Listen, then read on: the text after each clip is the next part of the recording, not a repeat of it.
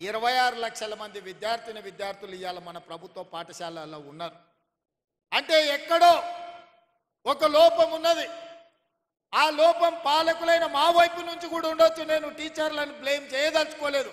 ప్రభుత్వం సరైన విధంగా నిర్వహించకపోవడం మౌలిక వసతులు ఏర్పాటు చేయకపోవడం కనీసం పాఠశాలల్లో ఊడవడానికో తూడవడానికో కనీసం టీచర్లకు తాగడానికి మంచినీళ్ళు ఇవ్వడానికి పారిశుద్ధ్య కార్మికులు లేకపోవడం కూడా కావచ్చు.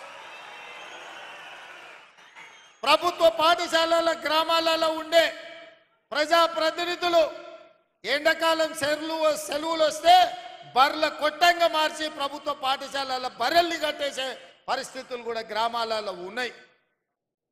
కనీసం ఆడపిల్లలు లేదా మహిళా టీచర్లు స్కూల్కి వస్తే పొద్దు నుంచి సాయంత్రం వరకు ఉంటే కనీసం టాయిలెట్స్ వసతి కూడా ప్రభుత్వాలు కల్పించకపోవడం కూడా ఒక కారణం అయి ఉండొచ్చు. ఇవాళ ఆడపిల్లలు చదువుకోవాలి అంటే మగపిల్లలకి ఏదైనా వెసులుబాటు ఉండొచ్చు.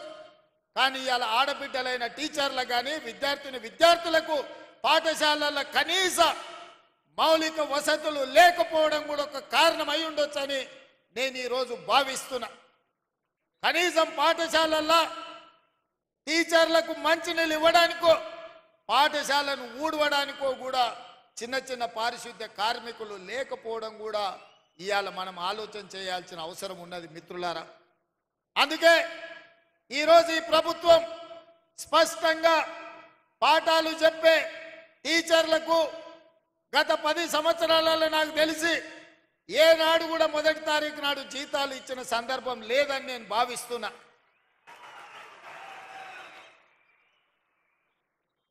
మీరు మీ పిల్లల చదువుల కోసమో ఇల్లు కొనుక్కోవడానికో కారు సైకిల్ మోటార్ లోన్ తీసుకుంటేనో ఏదైనా బ్యాంకుల్లో అప్పు తెచ్చుకుంటే మీరు ఇచ్చిన చెక్కులు సరైన సమయంలో మీకు జీతాలు రాకపోతే చెక్కులు బౌన్స్ అయిపోయి మీ సిబిల్ స్కోర్ ఖరాబ్ అయిపోయి బ్యాంకులు కూడా నమ్మని పరిస్థితులు ఇవాళ వచ్చినాయి దాపురించినాయి గత పది సంవత్సరాలలో. అందుకే నేను ఆలోచన చేసిన మొట్టమొదట ప్రభుత్వం ప్రభుత్వం ఒక యజమాని. ఆ యజమాని పరిధిలో పనిచేసే దాదాపుగా ఐదు వంద ఐదు లక్షల మంది ఉద్యోగులకు తమ యజమాని మీద విశ్వాసం ఉండాలి తమ యజమాని మీద నమ్మకం ఉండాలి.